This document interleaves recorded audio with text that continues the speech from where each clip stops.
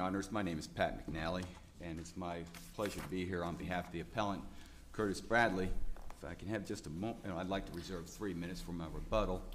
If I can have just a moment to get set up. uh, I often bring water up here because either my allergies or nervousness gets me choked up often, so uh, I might, s- well, since Counsel, can I just ask you one just general question on reviewing diversion cases? yes, sir. And then, so, obviously, you, you, you're, you would like us to just say, hey, he's entitled to diversion. But you, you know as well as I do that we send most of these back because there's so many specific findings that the trial court needs to make. One of the, in preparing for this, one of the questions I thought of was, in this case in particular, the trial court made several credibility determinations, um, which would probably go against your client. So can we really, and just, uh, not, you can talk about your case if you want, I'm Yeah, really just kind of yeah, talking no, big yeah. picture here real quick. Can we really do a true de novo if there's a bunch of credibility determinations which would go, might go against diversion and then turn around and us grant diversions? Does my question make sense, how I'm trying to ask that? I mean, since we don't do credibility, that's for the Right. trial court. So I'm trying to figure out in my head how we're supposed to do de novo when their credibility determinations have already been made mm-hmm. That we can't change. So how do we, how do we juggle those two things, just in general, or your case, however you want to answer it? Yeah, and, and Judge, Judge Dyer, I'll tell you, I often melt when Your Honor asks questions, hypotheticals that go beyond the jurisprudence of criminal law because I don't practice in other areas like divorce or in one case we had before, contract law. But uh, I, I'm, I'm more than happy to talk about the big picture on that. And it goes to some of the cases that talk about when this court can do a de novo review versus sent, remaining it back for considerations. And in general, I would say that if the credi, this court is not to, to, to make credibility, or to reevaluate credibility questions unless there's just an absolute abuse of discretion where the facts uh, do not support the decision made by the trial court. And in general, uh, if the court can do a de novo review while accepting the findings by the trial court, then I don't think you have to send it back. But if there's an issue about the credi- about the weighing, which uh, goes to this case here, which is my, part of my question here, is that when you look at the three pages that this, that the trial court discussed judicial diversion here, you see no weighing of her findings against, uh, uh, weighing of the factors, including one of her findings, which is that she really wasn't buying Mr. Bradley's explanation for the violation of the order of protection. Um, that seems to be the one credibility issue that I think And, and- that's what made me think of the question here Yeah. was that, well, I I, there's, I think, I read two different statements. One is, didn't really buy his explanation for the order of protection violation. And two, seemed n- not, or discounted her injuries, you know, because his testimony, I think, was, he told her she'd be fine, everything's okay, kind of discounted mm-hmm. her injuries, discounted the impact on her. I know, I know that's one of your issues, is the impact on her, but he kind of discounted what happened to her, and, and then also the order of protection, so she, that bothered her, she didn't, and she obviously didn't believe him on the order of protection, so if she said he's not being honest on the order of protection, how can we weigh that any other way than against your client? Because she's made a credibility finding that he was being un- untruthful. And that he, basically, she's saying, you knew you were violating it and didn't care. So that would go against your client. Well, I'm not sure the court said that. No, because- she didn't, but by Yeah. saying, I don't Oh, okay. believe. Oh, I see. Okay. Your, I don't believe your explanation for the, for the, for violating the order of protection means you're lying to me about violating the, about the role you played in violating or what it meant. So I, she's, she said that that factor, that, that specific one, you're lying. And so how can we give him any credit on the order protection issue If may, if she said he was lying about it? Okay, if I may interject and just. uh, You, you can have all the time you want. No, I have 12 minutes, but humbly, I want to say, she never said he was lying, and she never said you perjured yourself in court. What she said, because, and I'm, I'm going to get to why, this, this is, this is a soft non-acceptance of a witness's testimony by the trial court. And, I- and I'm gonna explain why. It- the- What the court actually said is this court is also concerned that I'm having difficult time. I was having a difficult time of accepting Mr. Bradley's explanation for violating the order of protection. Look at the record here. On the record, the only person who talked about the violation of the order of protection was Mr. Bradley. And he explained, I got this order of protection, it's an order of protection coming out of Indiana. He's living in Kentucky. He receives it from the sheriff's department, and he does nothing. And then, according to his testimony, he receives phone calls from Miss Witt, and he accepts those and gets a violation order protection. And that's when he hires a lawyer. Now, the court is not saying you're lying. She's saying I'm having a difficult time accepting that. And part of it I can understand because the court, from her own experience, was asking some questions herself about the order protection. Said, well, when you got the order protection, didn't you go to court? And he said, at first he says yes, but actually, no, I didn't until later. Uh, didn't, didn't the judge explain to you about the order protection? No contact? And he says, I never went to court. And so I can understand the court's difficulty accepting some of it from her experience of probably knowledge about, but there's nothing in here where anybody, no, they never call Miss Witt back, they never call anybody back to say, he's not telling the truth. He gives his explanation, and she just says, probably from her own experience, uh, that, that I'm just having difficulty accepting it. She doesn't go any further than that, though. And then the So other I thing. know I said I was gonna be quiet, but that, that actually doesn't help me any, because she's, she knows what she means by that. I could tell you, And- I, I'm having trouble accepting your argument. I could mean, hey, I just don't get it. I could mean, I think you're lying. I could, I could mean lots of different things by that statement. So I don't know what she means by it, so maybe I should send it back so she can explain what she means. And while, while I've obviously asked the court to go ahead and do a de novo review, because I feel that the presumption uh, of reason, the presumption of reasonableness and the abuse of discretion doesn't apply here because of numerous things that we pointed out in our brief, that's part of the problem. We don't know what the court's meaning here, um, other than I'm having difficulty accepting it. We also don't know what the court means when she repeatedly says, so I don't think that this factor weighs against him when talking about amenability of, of correction, or amenability for correction. And the fact he has no criminal record, I don't think this factor weighs against him. And then, you know, the state argues that, well, we can implicitly or infer that that means it's favorable for him. And I'm gonna follow that up for just a second. But we can't tell that for sure. I don't know what it means when I, when they say, I don't know that that factor weighs against him. When obviously it looks like it should weigh in his favor. Amenability of correction, there's a lot of things in here that the court, that were presented to the court, um, that show that he is amenable to, uh, amenable to correction. There's also things in, the fact he has no criminal record should be obvious that it's in his favor. But I don't know what the court's meaning by that. And then she goes, and- I'll contrast that. The court does know how to say when something's favorable for him because in the very next sentence, the court was presented in his packet a number of letters in support of Mr. B- Bradley, which I think weighs favorably for him as it relates to his social history. So she knows how to say when it's favorable to him. Now, here's the thing, Your Honor, or Your Honors. Um,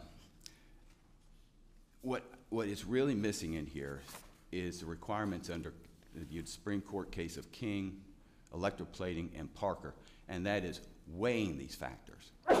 First, I don't know, first, the record is absent clear, explicit understanding of what the court meant when the court was addressing some of the electroplating factors. But then it's completely absent of any weighing of those factors in this. The court, do- I will concede, the court does cite the case of State versus Parker, which is the electroplating factors, also seen in King, uh, the Supreme Court case of King.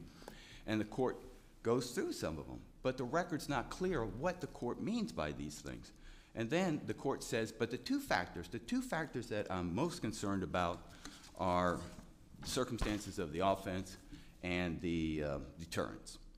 And, and when you look at this, there, there's, there's three pages dealing with the court's decision on judicial diversion. Learned counsel spent nearly 10 pages weighing the factors. I spent nearly 28 pages challenging uh, the court's decision. Um, I, I encourage this court to just look at pa- volume three, pages 90 through 93, uh, to see if really this complies, if this is sufficient for the court to have an adequate review of the court's determination to deny judicial diversion in this case. Because you can see that the court goes exclusively to the considerations of circumstances of the offense and deterrence. And again, I- and the deterrence, the, the factor that was, the facts that were relied upon for deterrence was this uh, con- concern of accepting Mr. Bradley's explanation of the order of protection, which doesn't really tell us what it means. It's not explicit. And now, the circumstances of the offense, that's where we also have another problem with the court's, um, with, the trial court's denial of judicial diversion here. Because the court goes on to say, but this court cannot overlook the lasting impact this conduct has had on Ms. Witt's life. Repeatedly, the court talks about that over the next two pages, that it occurred, the court goes on to say, it occurred in 2000 and then corrects itself to say 2001, and in 2023, Ms. Witt is still experiencing this physical impact of Mr. Bradley's conduct. To this day, she's still experiencing the financial decline as a result of this, so this, too, has had a lasting impact on her. The problem with this is, as, as this court has said in Mede- Medea, Medea, as in Wells recently in December of last year, that the sentencing court focused on an irrelevant factor, that is Ms. Witt's, the impact on Ms. Witt about, uh, uh, from, from the injuries that she suffered. And the courts have held that that is an irrelevant factor. But it's to the exclusivity of all the other factors. There was nothing else discussed about the circumstances of the offense. And that's why this fails, and the presumption of reasonableness and, uh, and abuse of discretion uh, does not apply in this case. That alone takes it out of there and, and begins a de novo review. Well, Aren't the, the effect on the victim, isn't that part of the circumstances of the offense? I mean, ar- aren't they really closely related? Especially in this case, it seems.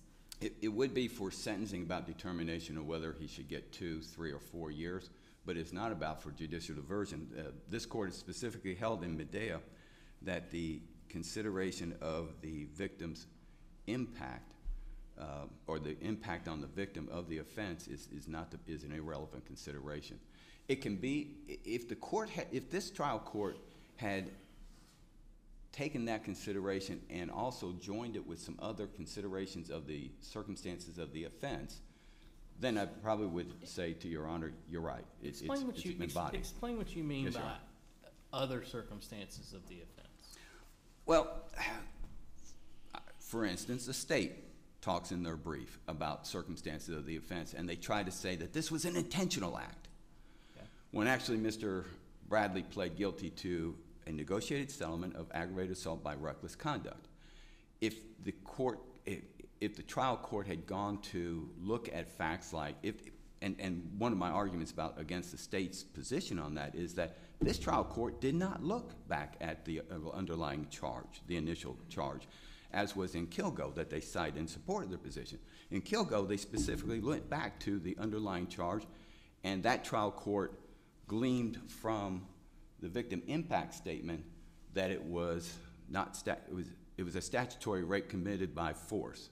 And the court, of course, this court reversed that, saying that, that statement, that victim impact statement did not support that. But, um, other circumstances. Had the court gone back and said, well, you know, he was initially charged with aggravated assault, and it looks to me, to this court, like it was intentional, and you got a break on your, on your negotiated settlement, so I'm not gonna give you judicial diversion. Or, say, in a sexual offense, if, if the court said, you know, I, I'm gonna deny judicial diversion because I think it's important that this be on the record for other employers or whatever to be aware of it. So to be clear, then, your position is if the trial court had said, I found this intentional, whatever, you know, it was, he, he knew he was gonna do this, he intentionally did it, he wanted to hurt her, whatever the trial court could find based on the record, I'm not saying that's true, just, and also that she suffered extensively, then that would be okay. It, it would purge consideration of the irrelevant conduct, because as, as the, this court said in Wells, where the court focused on the, that a death occurred, in a sense saying that because of it, because there's a death, I'm not gonna give judicial diversion, this court wrote that we also concluded that the trial court's statement at the sentencing hearing which did not engage in any additional review or analysis of the circumstances of the offense beyond the fact that a death occurred, reflects that its denial of diversion was influenced by an improper factor. That is clearly here in this case. I mean, page 93 92 and 93, that's the only thing that, uh, that the trial court ties into the circumstances of the offense. Um,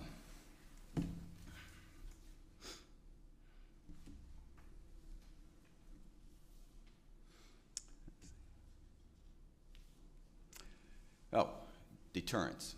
Uh, The, uh, the the court did consider the factor of deterrence and uh, addressed it with, as, as as Your Honor had pointed out, um, the violation of the order of protection, which seems to have an explanation that the court wasn't completely buying, though not calling Mr. Bradley a liar or untruthful. Um, And and frankly, there's nothing else in the record. So, I mean, you know, I could stand here and say, there's nothing to support the court's position that he, to not accept his explanation. And the state certainly could have called, Ms. Witt stood there and read her statement. She certainly could have called Ms. Witt to rebut his, his account of what happened uh, during the sentencing hearing. But, um, but the thing again about the deterrence is that, one, it's very unclear as to what the court means by, I don't really buy his explanation. And then number two, and number two, it never gets down to weighing that deterrence against the other factors. Here's where I was going to loop back again to the state's argument. If the state's saying that, well, factor one, two, and three are obviously in his favor because the court just said, well, I'm not going to hold that against him, then where's the weighing of those factors against uh, the circumstances of the offense and against deterrence? Where is that weighing analysis that the state does a really nice job because in its brief it says, if the court's going to conduct a novel review, let's tell you why he shouldn't get diversion. And we got page after page after page of weighing it. We don't have that in here from the trial court. And for that reason, I would say that the, uh, I would ask this court to reverse the trial court sentencing decision, place Mr. Bradley on judicial diversion for a period of two years. The reason I say two years is that there was a lot of mitigation in this case. I think the court abused its discretion in the sentencing because there was a lot of mitigation in this case. It's loaded with it. His age, his lack of, uh, the, the, the lack of any likelihood of, of committing another crime, uh, his voluntarily going into rehab and everything. I know I'm eating into my, uh, uh, but this is very important. He voluntarily went in to get anger management, went in to get alcohol treatment. Remember, this thing started on July 4th, 2021, at a party downtown where both of them were drunk. Um, and he goes and gets, uh, gets into counseling and gets into alcohol assessment treatment. He has children that he's supporting. He has a very good job. One last thing I do want to point out. The court, the court did not consider the fact, a relevant factor. And this is, this is important. The court did not consider a relevant factor, and that relevant factor was the, did not discuss whether the ends of justice and the interest of the public could be served as well as those of the accused. And Mr. Bradley put on very, uh, put on proof that he will lose his security clearance and just lose his job as general manager of Warner Fertilizer because fertilizer has to be regulated by the Department of Homeland Security as a result of the Oklahoma bombing case. And he's a vice president for the Kentucky Agricultural Association, soon to be president. And it will affect that, in, in the stigma of being a, a convicted felon will affect, he'll basically have to resign from that position because he meets with Kentucky legislators to advance agricultural issues or to lobby for agricultural purposes. That factor was never even considered, and it's a relevant one. So again, I, I, think that this uh, needs to be reviewed, and I ask this court to grant the relief that we requested. Thank you.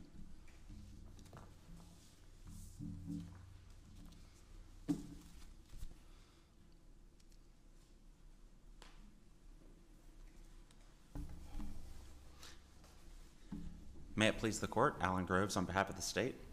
I'd like to begin by addressing the appropriate standard of review. I know your honors hear a lot of judicial diversion cases. Um, the trial court's findings here were much more specific than a lot of cases I've seen in my time at the AG's office. The court specifically cited the Parker decision. It specifically went through each of these factors, um, with the exception of, of the last one that the defense attorney just mentioned. Um, which this court has held failure to identify one specific factor, including that one, is not reversible error or, or grounds for applying de novo review. And here the trial court did expressly state that it was um, the, the two factors driving its decision were the circumstances of the offense and the need for specific deterrence. Now, the defendant apparently would impose another requirement that the court um, state, I hereby declare that I am now weighing these two factors against the remaining factors. This court has never imposed such a requirement. It's, it's very clear when you read the con, when you read the whole transcript in context that those were the two factors that outweighed the remaining factors. The defendant is also trying to again require magic words with respect to the, the factors that the trial court said were, did not weigh against him. But again, when the court says that your lack of a criminal history does not weigh against you, it, it's pretty clear that that factor therefore weighs in your favor. And similarly, with respect to a defendant's physical or mental health, this court has held that the lack of evidence regarding that factor means that the trial court can weigh it either neutrally or favorably. So we, we really think there's, there's sufficient findings here to trigger the abuse of discretion standard of review. I do want to address this point that the trial court's reference to the effects of the offense on the victim was an irrelevant factor. The defendant in his reply brief says that we conceded that that is an irrelevant factor. We didn't concede anything. On page um, 21, we say, we acknowledge that this court has made that statement in previous unreported cases, like the, the Medi decision. Um, but I, I would encourage the court to perhaps revisit that um, analysis and perhaps clarify that the effects of the offense on the victim um, is not only permissible, but it's actually required that trial courts consider that. So the, vi- the Victim Impact Statement Act requires trial courts in sentencing to consider the victim impact statement. The statutory definition of a victim impact statement is that it means a statement providing information about the financial, emotional, and physical effects of the crime on the victim. And then it goes on to say, um, and the circumstances surrounding the crime and the manner in which it was perpetrated. So the trial court's actually required to consider the effects of the offense on the victim. And we don't agree that that is an irrelevant factor. But nevertheless, we have pointed out that when you're reading this transcript, um, it's clear that the trial court kind of makes this an offhanded remark when it's responding to the defendant's concern that perhaps a felony conviction for him would have long lasting impacts. The court's just observing that Miss Whitty has also experienced long term financial and physical and mental health impacts from the offense. And I think that's completely fair game. Um, it's not an irrelevant factor that would require de novo review. Judge Dyer, to your point, I certainly agree that if a trial court makes a credibility determination, that this court is bound by the credibility determination, at least with respect to the factor that that credibility determination relates to. So here, the, the lack of candor, which would go towards both the need for specific deterrence and amenability to correction. Now, if the defendant lied about what cereal he ate for breakfast, you know, this court, that might not prevent this court from conducting a de novo review. I think it is probably fact specific and case specific. But here, when So how do we though, to, to counsel's point, the statement is, I'm having trouble with this. I don't know what that means. I mean, I have my assumptions, and am I supposed to say, based on the reading of the record, this is what we think the trial court meant by that, or should we send it back and say, you need to explain it and do a better job? So that's what the trial court said when it was making its ruling at the end of the sentencing hearing. Um, but if you read earlier in the transcript, that the court actually interjected when the defendant was testifying and started asking him, just sua sponte, like, are you saying that you were never served with the order of protection? Um, are you saying you didn't understand it? And that there was a dialogue there between the defendant and the trial court. So I think if you go back and look at that colloquy in the sentencing hearing, it's clear that the court was not buying his explanation that he didn't understand that he had violated the order of protection. Because he did admit that he that there was an order of protection. He claimed that the victim had called him, and then he initially said, "I didn't even know what an order of protection meant, and I didn't understand I was violating it." He kind of waffled on whether he ever went to court um, and learn more about it from the judge. But he did admit that a sheriff's deputy had served him with the order. So I, I think it's it's pretty clear that the court made an implicit credibility determination that he was not being completely forthright about the overall circumstances there, which again does go directly to both the need for specific deterrence um, because it bears on his amendment on his likelihood to offend, and I also think, and as this court has held, um, lack of candor goes to amenability to correction, which even though the court said that it was not weighing against him, clearly does. And when this court's considering the overall decision to deny judicial diversion, it's looking for any substantial evidence to support the court's determination. So I think even though the trial court did not ex- did not purport to rely on the amenability to correction, this court can nevertheless consider its factual findings that would be relevant to that factor um, in affirming. And certainly, if the court were to conduct de novo review, that factor would come into play as well. Turning to the merits, um, again, the court's only looking for any substantial evidence, more than a scint- scintilla of evidence to support the trial court's ruling. With regarding to the circumstances of the offense, the court has repeatedly held that leniency in plea negotiations does bear on the circumstances of the conviction offense. Here, the defendant was charged with aggravated assault by intentionally or reckless or knowingly causing serious bodily injury. He pled down to aggravated assault with reckless intent. And I understand this was a plea and that it, only involved the reckless intent.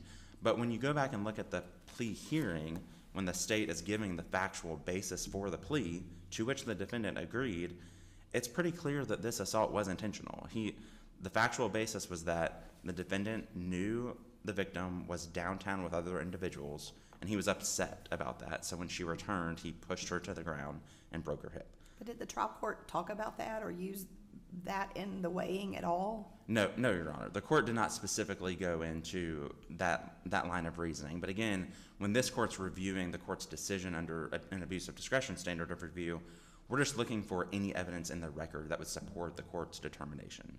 So, so I agree that the court did not explicitly discuss that, but I think it would be fair for this court to consider the leniency in plea negotiations. And similarly, with respect to the false imprisonment charge that was dismissed, Ms. Whitty's victim impact statement also provides evidence that the defendant um, kept her confined in the hotel room when she had tried to leave after this event took place. And again, at sentencing, the court would only be required to find by preponderance of the evidence that the facts as originally charged could have been proven by the state. So I think this court could also consider that um, in an, analyzing the circumstances of the offense. I've already addressed, judges, your question about the effects of the offense on the victim. I think that's also appropriate. And I, I agree that's where, where the court focused its concern on this factor. But the other factor that was really driving the court's decision was the lack of remorse, which it tied into the need for specific deterrence.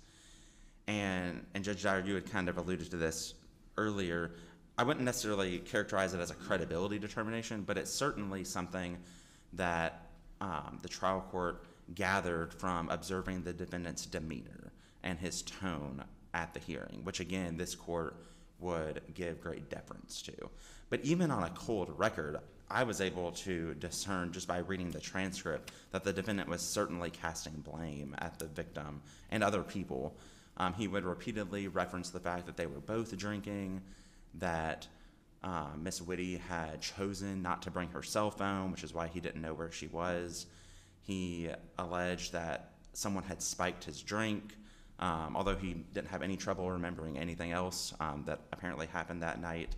So there's all these instances where the defendant was um, suggesting that it was the, the victim's fault or that they were equally responsible for what happened. And the court clearly weighed that against the defendant when it considered the need for specific deterrence, which was appropriate. The victim also explained that there were other instances, such as um, one instance that happened in November 2021 at her apartment complex after this event, where he had kind of gotten aggressive and prevented her from um, either entering or leaving a fitness area um, at the at the apartment complex. And she eventually ended the relationship because she said there was an escalating pattern of abuse. So there's certainly more than a scintilla of evidence to support the trial court's findings in this case. Um, I'm happy to answer any questions about the length of the sentence. Um, that was a within range sentence for this offense, but if your honors have no further questions, we'll rest on our briefs for that issue. Thank you. Thank you. This one. most of the last few minutes that the state addressed to the court about the facts that were brought during the sentencing hearing would be nice if the trial court had weighed those. But when you look at pages 90 through 93, the trial court does not address those at all, does not address remorse, does not address uh, the victim impact statement, does not address many of the things that the courts asked, th- that the state has asked this court to consider to support the state's position. And I'm going to tell you, when someone says that the, when the, the state is wrong, when they say that there is not a requirement to weigh the factors, this court in Kilgo specifically said that if the court, the trial court, has based its determination on, on only some of the factors, it must explain why these factors outweigh the others. And it cites to Park the very cornerstone of judicial diversion, State versus Parker. It is a requirement that the court put on the record so that this court can have an adequate record to review the weighing of the factors. What I'm saying here is that we got some ambiguous language and we got some specific language with some ambigu- ambiguity, am- ambiguity in it. And never does the trial court weigh those particular factors. And that, the trial court did focus its attention on the impact or the effect that this effect, that these injuries had on the victim over the three years after the incident occurred. But this court cannot overlook the lasting impact that this conduct has had on Miss Witt's life. And I'll rest on that, please, Your Honors. Thank you. Thank you. All right, uh, we're gonna take, uh, just five minutes and we'll be right back, recess.